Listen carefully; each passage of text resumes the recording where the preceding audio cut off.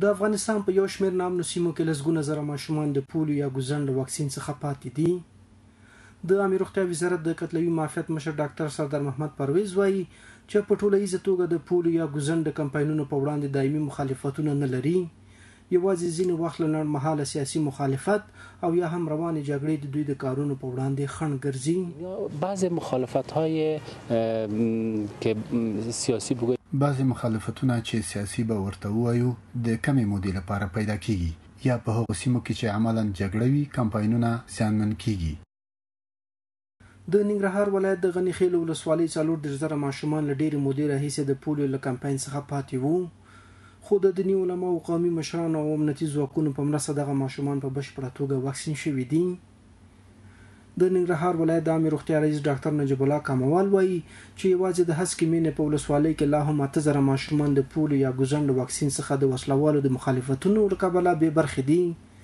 خو هڅې روانې دي چې په راتلونکي کمپاین کې واکسین شي. موږ د دېبالا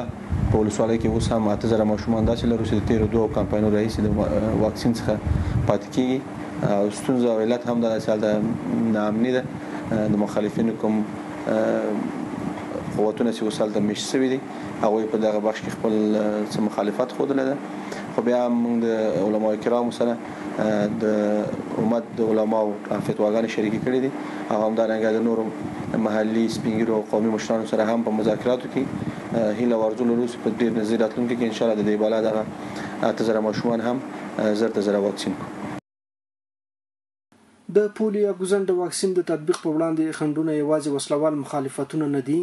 بلکې د خلکو د عامه پوهاوي د کچې ټيټوالی هم يو له هغو لاملونو څخه دی چې ډېر ماشومان له دې واکسين څخه بې برخې پاتې کېږي. د هرات ولايت په درېيو نا امنو ولسواليو لکه شينډنډ، ادرسکن او فارسي کې اوس د پوليا ګزن کمپاين په ښه توګه ترسره شوی دی. د دغه ولایت چارواکي وايي چې وسله وال اوس له دوی څخه غواړي چې د هغوی تر ولکې لاندې سیمو کې د پولي یا ګوژڼ واکسین تطبیق کړي. امروز ما از طرف از نو پذیرایی میشیم امروز اونا سر ما انتقاد میکنند که.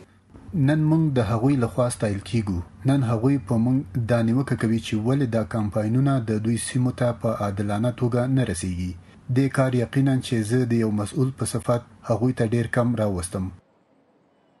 په جنوبي حوزه کې هم څه د پاسه پنځه سوه زره ماشومان د ګڼو ستونزو له کبله له ډېرې مودې راهیسې د پولي یا ګوزڼ له کمپاین څخه پاتې وو چې مهم خنډونه یې د وسله والو تر ولکې لاندې سیمو څخه د روغتیايي کارکوونکو په دندو نه ګمارل وو. د عامې روغتیا وزارت وایي چې د دوی د ستراتیژۍ یوه مهمه برخه همدا ده چې له هغو سیمو څخه روغتیايي کارکوونکي په دندو وګماري چې هلته د پولي یا ګوزڼ واکسین تطبیق کېږي. دغه کړنلاره د دې لامل شوې چې په کندهار ولایت کې هم وسله وال مخالفین د پولو یا ګوزڼ کمپاینونو ته اجازه ورکړي. د عامې روغتیا وزارت د راپورونو له مخې یوازې د دوه زره او پنځلسم کال له پیل څخه تر اوسه د پولو یا ګوزڼ اووه مثبتې پېښې ثبت شوې دي چې وروستۍ پېښه یې د ننګرهار په اچین ولسوالۍ کې وه. احمد ولي یوسفزی، امریکا غږ، کابل.